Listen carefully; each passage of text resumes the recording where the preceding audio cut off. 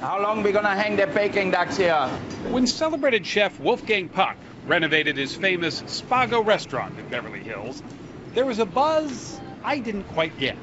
Is that the new recipe for the short ribs here? Let's taste it. Don't get me wrong, I love a good restaurant, but I'm by no means a foodie. In fact, I clam up when I'm expected to talk about food in any intelligent manner beyond, mmm. I've never had a lobster like that. You're still very young, so it's okay. Chef Puck endured my lack of food sophistication with a smile as he tried to explain why everyone else, it seems, is talking about, blogging about, even Instagramming their food. Today, people really know about food. They read about food, they see it on television, they know what good quality is. All of a sudden now, food and wine has become one of the premier conversation pieces. Hey, John, go fire halibut, black cod, and a broccoli. And the reason for all the talk has little to do with what's in your refrigerator. Chefs to make it delicious, global, and innovative. It's your cable box. Television made such a big impact of the way we eat in America today. I mean, it has changed the whole climate of eating totally and for the better. When Julia Child took to the airwaves, it seemed cooking shows appealed more to the golf and opera crowd. We're going to make beef bourguignon, beef stew, and red wine. Now, food is cool, even edgy. I love geoduck sliced in like this, and apples and like raw seafood to me is amazing. It's as much about pop culture as popovers, a frenzy fueled by social media. Everybody is a restaurant critic. Everybody. Everybody.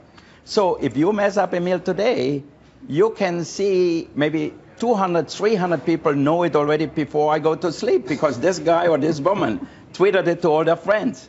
Look what happened this past week when a New York Times critic took a less than charitable bite out of celebrity chef Guy Fieri's new restaurant. It became instant water cooler fodder.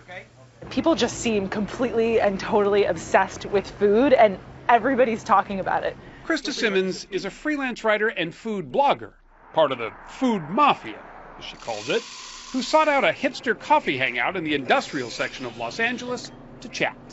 I feel like foodieism has hit a critical mass in the past five, ten years. And it's been said many times, but I'll say it again food really is the new rock. And the new groupies are who?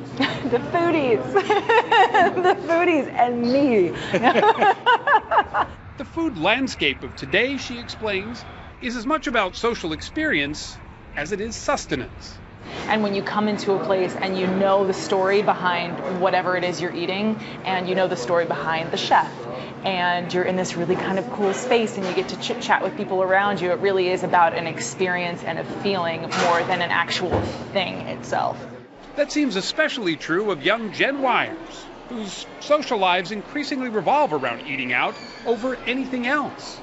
I will probably spend 150 bucks on a tasting menu before I'd go and spend 150 bucks on the Rolling Stones reunion tour. I mean, and I'm not alone in that sentiment. Actually, I really love the Stones. I shouldn't say that.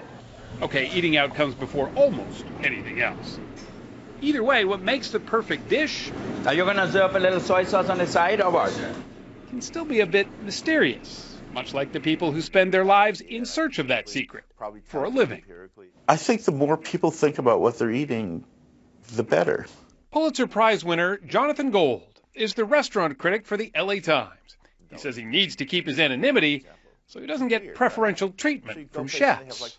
I think that there is a recognition that the best food isn't necessarily what you're going to get at the white tablecloth restaurant. What Gold noticed more than anything in the last few years is good food is where you find it. This is your burrito and your ceviche. Case in point, food trucks. They've driven their way into the hearts and stomachs of foodies everywhere. Half a pound of those, too. Okay. Farmers markets are teeming, thanks in part to the First Lady. We need a wheelbarrow! Who's made her vegetable garden as recognizable as the Rose Garden. In short, foodies aren't part of an exclusive club anymore.